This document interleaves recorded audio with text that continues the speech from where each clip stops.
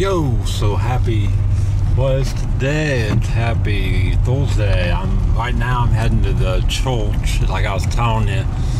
Uh, and today I've just kind of had a. It's been rough. Last last night, today, and I think, boy, I think I'm late to this, but oh well, we'll see what happens. Anyway, gee whiz, man. I don't know where to but anyway, uh, I am going to. Um, man, I don't like how this dot is, but anyway, I still everything's planted. But oh well. But anyway, I uh, I think I am gonna change. I am gonna change. Um, and skip a couple days. The streak's gonna be broke. I'm not stopping vlogging, but I'm gonna stop daily vlogging. It's official. I'm done. Nothing bad. I mean, you know, I'm just trying to do other things, and and and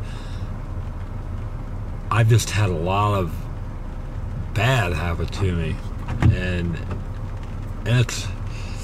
Let me explain this real quick, guys. Real quick. I had a lot of, uh, you know, it's always been close to my heart. I figured, you know, I'd be successful coaching basketball, and I would definitely stick up for equality, fight racism, discrimination, sexism, sexual harassment, all that stuff, and fight the good fight and call out wrong. But I didn't want to, I wanted to be a supporter of it and kind of be involved but not the center. But at this point in my life, that is where I'm. I am. I mean, I I am really in a lot of trouble. Uh, I.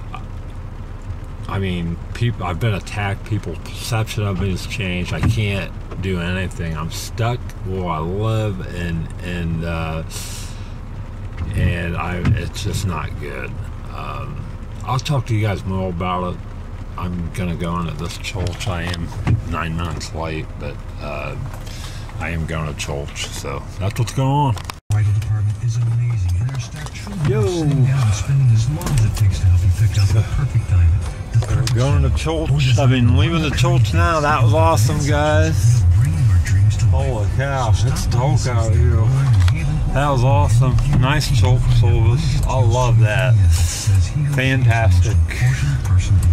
So that lifted me up. Man, it's 1014. Holy cow.